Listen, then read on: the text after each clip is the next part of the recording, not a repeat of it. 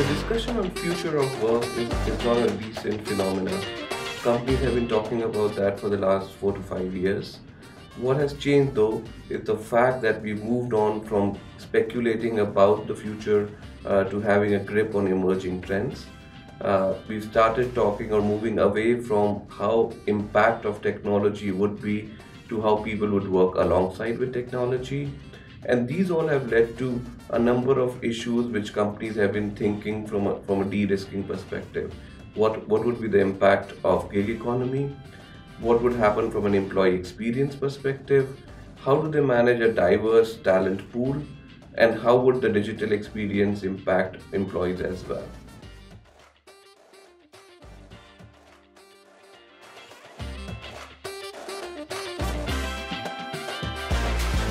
As companies are getting ready to be future fit and de-risk their businesses, they've been rethinking their structures to outpace the market forces. They've been enabling their managers to operate in a multi-speed and a multi-partner environment.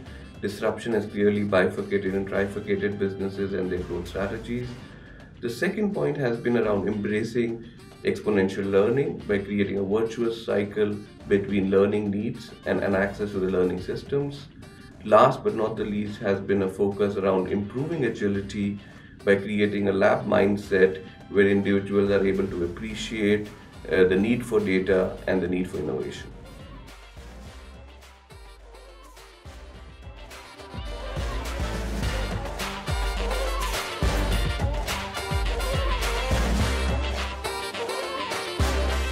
Two out of five Asian employees actually believe that their value proposition or what they receive from their employer is differentiated or unique. So there's this tremendous need to do something different, to innovate with rewards and be more differentiated. So, so when you look at that, what does that mean? Innovation. How can you drive that?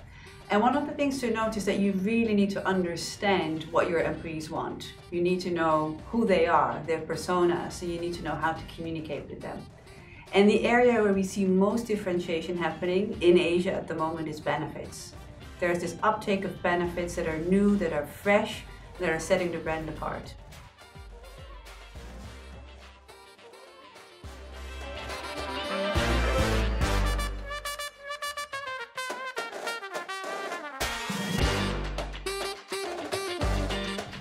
So empowerment has become a really important topic for many organisations because as they respond to the sorts of challenges that they experience in their workplace and in their uh, customer markets, they recognise that they need to start to invest in the kind of experiences that they create for their employees. What we find is that uh, many employees come to work looking for three things. They're looking for a sense of mastery, to learn something that they, uh, that they can feel really great at, a sense of autonomy in their work, to feel some control over what they do, and a strong sense of purpose and connection, uh, you know, a sense that they're part of something bigger. And what we see is empowerment is a really key enabler of those things. Leaders that manage to do that really power a lot of uh, uh, you know, great performance in their organizations.